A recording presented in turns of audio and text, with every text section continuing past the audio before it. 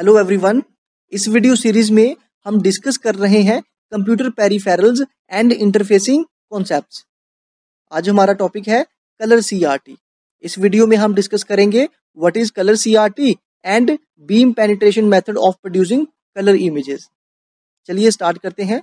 What is colour CRT colour CRT monitor display करते हैं colour images को by using a combination of phosphors that emit different colored light.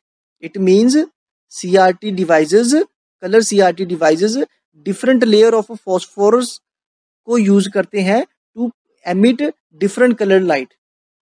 Okay, then by combining different colored emitted light, wide range of colors को generate किया जाता है colour CRT devices की example है colour TVs There are two basic methods for producing color images. First one is beam penetration method and second one is shadow mask method.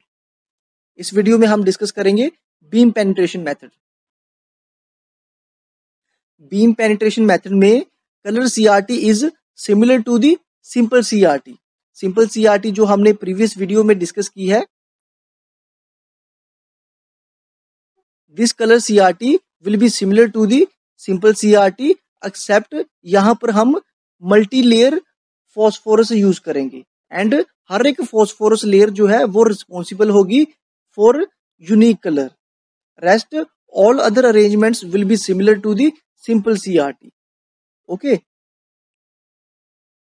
beam penetration method में हम phosphorus की दो layers को use करेंगे। Red and green beam penetration method में red and green phosphorus layers are coated inside the screen and the displayed color depends on how far the electron beam penetrates the phosphorus layers चलिए इसको समझते हैं beam penetration method में हमने दो layers को use किया है सपोज़ ये हमारी डिस्प्ले स्क्रीन है। ये हमारी डिस्प्ले स्क्रीन है, यहाँ पर इमेज डिस्प्ले होगी ओके इसके इनसाइड इन हमने दो लेयर्स को कोट कोटेड किया है green phosphorus layer and red phosphorus layer okay ये ग्रीन फोस्फोरस लेयर है, इसको हम कहेंगे inner layer and red phosphorus layer को हम कहेंगे outer layer okay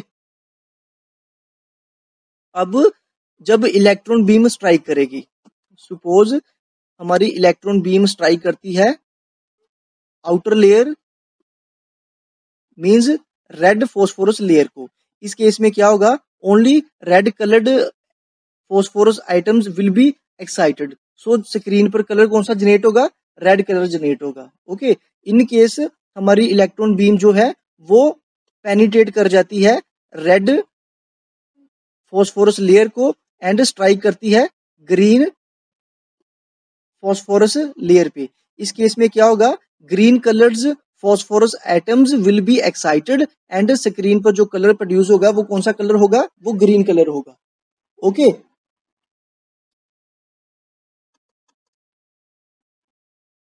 it means a beam of slow electrons excite only the outer layer outer layer कौन सी लेयर है? Red layer Hence, screen shows red color only and when a beam of a fast electrons penetrates red color and excite the inner green layer, then only green color will show on the screen.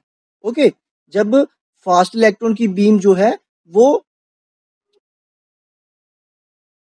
वो red layer को penetrates कर जाएगी और excite किसको करेगी green layer को इस case में ग्रीन कलर जो है स्क्रीन पे प्रोड्यूस होगा, ओके? इंटरमीडिएट स्पीड वाली electron beam combination of red and green light को इमिट करेगी, ओके? इट मींस रेड और ग्रीन लाइट की कॉम्बिनेशन से हम कौन कौन से कलर को प्रोड्यूस कर सकते हैं? रेड और ग्रीन हमारे पास दो कलर्स हैं रेड और ग्रीन कलर के कॉम्बिनेशन से हम दो कलर्स को जनरेट कर सकते हैं। Orange and yellow okay it means intermediate speed वाली जो इलेक्ट्रॉन बीम है, वो ऑरेंज या येलो कलर को स्क्रीन पे प्रोड्यूस करेगी।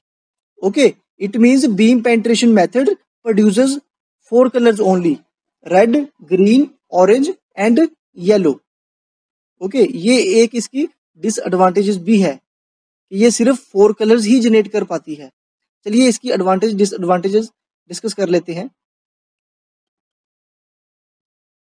This method of producing colour images is inexpensive okay and this method produce images of better resolution अच्छी resolution की इमेजेस प्रोड्यूस करता है ये मेथड इसकी डिसएडवांटेजेस है कि ये सिर्फ़ फोर कलर्स ही प्रोड्यूस कर पाता है। Okay and quality of pictures is not as good as with other methods बाकी मेथड्स जो कलर इमेजेस को प्रोड्यूस करते हैं इसकी क्वालिटी uh, उन मेथड से कम है। ओके आई होप सो आपको beam penetration method of producing colour images समझ में आ गया है। नेक्स्ट वीडियो में हम डिस्कस करेंगे shadow mask method of producing colour images thank you